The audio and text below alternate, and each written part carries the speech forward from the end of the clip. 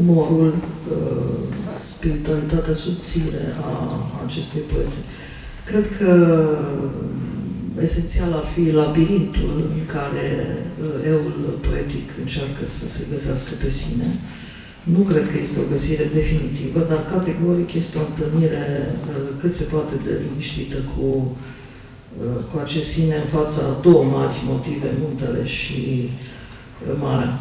Ar fi de remarcat aici o sumă de uh, trimiteri uh, olfactive, uh, smirnă, tămâie, etc., semne care ne trimit în, într-un spațiu și pe de o parte spiritual, pe de altă parte uh, cu totul senzorial. Uh, memoria s-a pozat în mii de vitralii. Cred că ar fi o altă emblemă sub care această carte ar putea să, ar putea să stea.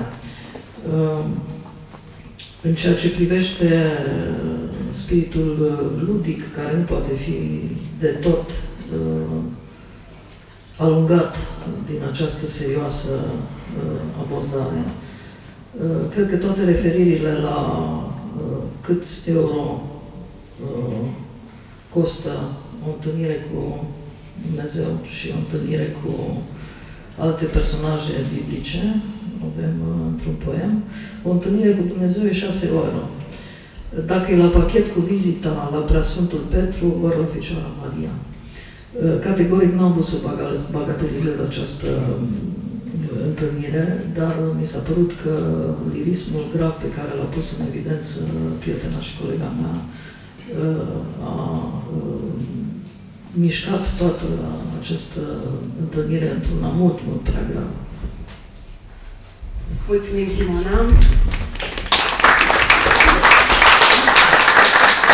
Alături de Mina Ceranu au venit două distinse doamne de la Timișoara, Maria Mițu, pe care dumneavoastră sigur o cunoașteți, doamna Maria Mițu, scriitoare și în același timp o bună cunoscătoare a operei Ninei Ceranu.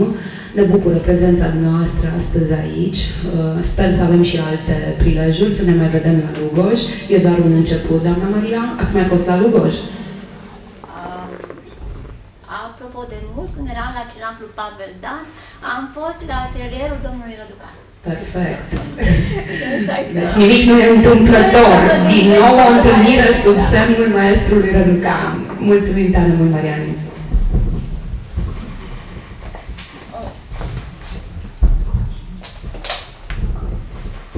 nu știu, e o chestie ingrată să ei, să vorbești ultima după asemenea intervenții care au epuizat toate ideile posibile, întorsăturile, încât nu știu ce vă putea spune, par așa, handicapat. Nu mă, poate dacă mi-aș fi scris, dar nu mi-am scris, de fapt eu am făcut o cronică la această carte, vă invit pe căutați revista Arca, parcă, mai știu ce, care număr, în care o cronică la acest volum intitulat Vitralele călătoriei și acolo no, ideea și acum nu știu ce aș încerc să vă să limpezesc cumva. Noroc că stau jos pentru că după atâția ani am stilul de a tremura de emoție de, și îmi pierd și ideilor, așa că mă scuzați, poate le mai adun cumva. Și dacă tot am vorbit de domnul uh, Răduca, să începem cu o carte, începem, coperta întotdeauna e um, deci, un fel de carte de vizită a unei uh, cărți și te atrage de obicei să coperta până să ajungi, o vezi în vitrină, în coperta te trage și până ajunge la titlu, care următorul e not și stand, știi? Am căutat uh, pictura, am găsit-o, bineînțeles, pe internet, se numește uh, Turbion și era făcută înainte de această carte și uh, tocmai valoarea unei opere artistice că uh, e, rămâne deschisă. Nu știu ce a gândit uh, dânsul atunci, ce interpretări a dat, nu știu dacă se gândea că odată va fi potrivită la o carte de impresii de călătorie, dar mie mi s-a părut uh, foarte uh, potrivită cheii de decodare în care am decodat eu această carte. Domnul Ghine a spus uh, o călătorie inițiatică la un moment dat, uh, deci pe spate uh, domnul Eugen Dorcescu, Dorcescu știți că e un, un uh, poet um, cumva religios, uh, asta e domeniul lui și a pus această carte sub semnul peregrinului, pelerinului Și uh, această călătorie, deci am văzut-o la un moment dat, Nina zice că e, nu e călătorul din grup, ci care rămâne în urma grupului, în sensul că să se bucure singură, în uh, singurătate de acele, să simtă genus loci, spiritul locului. Și, uh, deci o călătorie inițiatică, cum zicea uh, uh, Cristina, și în acest sens, deci după această întâlnire, deci acele locuri, nu se, uh, acest spirit al locului nu-l găsești în piantele documentare. Deci decât să rămâi în spate să te întâlnești tu.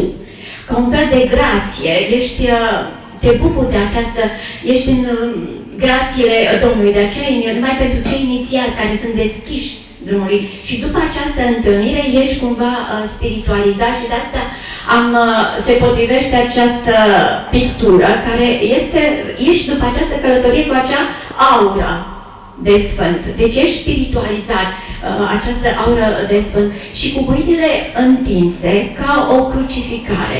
În sensul, deci, turbion, mi-am imaginat așa cum uh, din uh, că este această sete de cunoaștere într-o călătorie și învârtind din acest vârtej al călătorilor, al impresiilor, sâșnește la suprafață îmbogățit și în acea întâlnire cu Marea.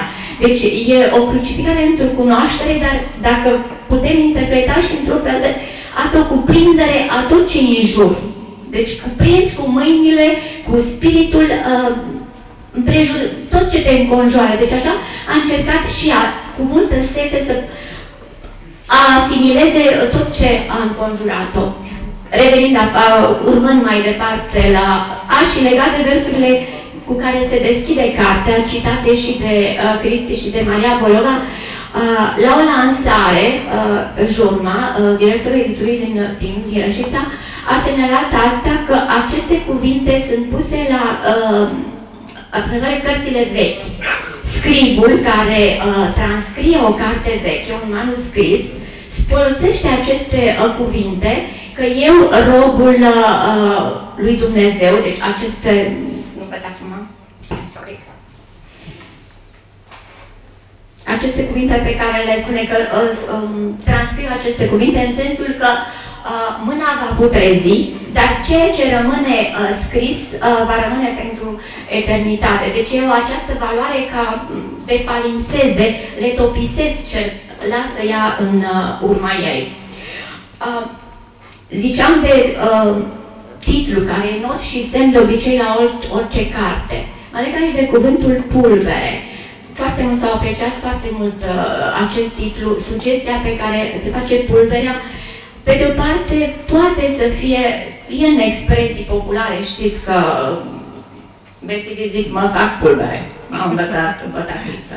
Sau, da, sau pe de o parte că te fac praf și pulbere, te uh, nimice, dar pe de altă parte duce la uh, acele versuri uh, din uh, realmente din uh, Biblie, din Geneză, că din pulbere care în loc de pământ folosește pulbere, este un cuvânt românesc mai decât pământ.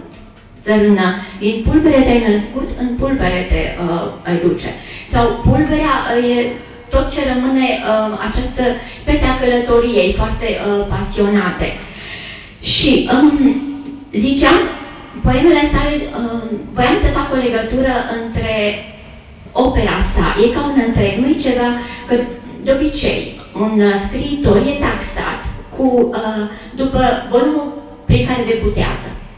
Dacă a, acela e renumit, adică e mai mult uh, în conștiință, recepționat în conștiința publică, așa este denumit. Celelalte, deci asta e uh, domeniul excelenței. Celelalte sunt complementare, deci dacă ea s-a afirmat ca prozatoare, aceasta este de interesul el.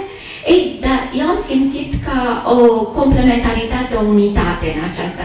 A scris și uh, volume de uh, poezii și are, uh, ce mi-a plăcut la ea, talentul uh, uh, titlurilor.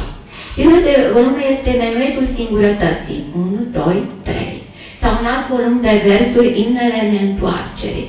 Și ca și această carte, nu sunt uh, poezii adunate heterogen, ci toate curg într-un poem unic pe o anumită idee. Aici ce, asta e un fel de uh, jurnal liric de călătorie, dar un poem unic de călătorie. Uh, un, un, ce se numea geopoeme. La fel acelea erau uh, închinate părinților. Acelea erau ignele neîntoarcerii. Părinții, deci, uh, menuetul 1, 2, singurătății 1, 2, 3, era acea triadă părinți, copii, mamă, tată și fică, care s-a spart după moartea părinților. Și spunea că între ei o să înflorească liliacul. Și știți că liliacul este pune în cimitire, în cimitirele vechi. De aceea, ă, la un mormânt se pune liliacul. Deci semn că moartea i-a despărtit. De aia, în state, vedeți, este diferența între uh, cimitirul, la, în unele state, cimitirul vechi și cimitirul nou. Ăla vechi totdeauna e uh, pe un deal, pe culme. Și e cu liliac, îl recunoașteți după liliac mult liliac, pe când în asta, în cele noi nu o să mai, nu o să mai găsi liliac, nu o să mai interesează pe nimeni să planteze liliac la o cruce dintr-un uh, cimitir. Și acest spirit, uh, iar apoi uh, sunt volumele de călătorie, în care sunt proză, ceea ce, iar titlul frumos, ceea ce luăm cu noi. Deci rămâne un volum de uh, impresii de călătorie, deci asta e ceea ce luăm cu noi dintr-un, uh, din toate călătoriile acestea. Și Heidi n-a văzut uh, Roma Termini. Ei, uh, pentru că atunci când mergi într-o călătorie, folosești ghiduri. Dar uh, dincolo de, uh, că la un moment dat uh, Eugen Dorcescu spune că este un uh, jurnal cu stratul evocator și descriptiv. Ei, mai puțin e descriptiv. Tocmai că din aceste capitole nu stai seama, e chiar uh, ca un roman de mistere, nu stai seama despre ce loc e vorba decât la sfârșit, la un moment dat, spune, ajungi la primul capitol, la sfârșit, îți dai seama că e vorba despre Siena, poemul de piatră al Sienei. Sau uh, capitolul care mi-a plăcut uh, cel mai mult, un talent descriptiv foarte mult despre uh, coasta Amal. Amal Amalfitană. E foarte, foarte frumos. La sfârșit îți dai seama. Sau despre uh, Pestum, în care, uh, deci, aceasta Geografia, aceste geopoeme, cum le-aș numi, sunt de fapt niște stări de suflet. Pentru că e, uh, Amiel spunea că natura, peisajul e o stare, un etat d'am, o stare de suflet. Și ea a uh, transcris în versul acea stare de suflet și într-un fel te spune. Și, scuzați-mă, când uh, vezi avea dreptate Maria, când zicea că dacă e uh, logic îți dai seama, nici nu știu când uh, am pus. Uh, legat de uh, mare, e într-adevăr un motiv uh, arhi cunoscut, universal, din uh, antichitate, cu dimensiunea sa epopeică, Talas al Odisei, homerică al lui Odiseu, ca uh, văzut ca marinar, corăbier. Ei au vede din, uh, de pe țărm. Și la un moment dat uh, e așa o comuniune cu Marea. Marea, uh, deci de pe țărm, uh, îți vă, vezi, uh, sugerează nesfârșitul, infinitul, acea uh, orizont, pe când ca marinar vezi invers, pământul. Și acel orizont e uh, dorința ei spre uh, Dumnezeu și ea Marea este intermediar, îi se confesează ei, pentru că Marea o va înțelege și va transmite mai departe lui Dumnezeu. Și la sfârșit e foarte uh, frumoasă această personificare a mării. Am avut o discuție și cu uh, Vesca Bătean, pentru că Marea în italiană am înțeles că e de genul masculin, nu știu cum sună în traducere Marea, uh, fiind de uh, masculin, uh, mireasa oamenilor sau care vrăjește marinarii. Și la sfârșit îi făceam observație că este, parcă te introduce într-un vas, e paradisiac, am mai întâlnit, chiar ultima, ultima lectură a fost o carte de un critic, Ion Pop, tot așa în fața mării în care întâlnirea era golful paradisului și nevoia de a se reîntoarce, a revenit din acea călătorie tot spre Marea Italiei, în țara lui, unde e un continental purgatoriu și avea să-l aștepte dezamăgirea. Și la fel și uh, la Nina se încheie la un moment dat, parcă e cu acea uh, formulă din Basme și v-am spus povestea așa, acea mare rămâne în uh, versul ei numai în pozele marcele, acele amintiri din călătorie ca în uh, fotografie. Parcă mi-a fi plăcut să mă lase în uh, basmul meu, acel frumusețe a mării. Dar există și această, uite, recent a apărut o carte a lui Florin Iaru, povestiri cu final schimbat. Așa că îmi permit și eu, la un moment dat, să res, rescriu un poem din acesta și să-i schimb finalul cu libertatea minei. Da, o să-i cer, bineînțeles, părerea noastră, iată așa ce frumos. Deci o felicit și sunt mândră că sunt prietena ei, nu știu cât o să mă mai țină prietena ei, dar în sfârșit.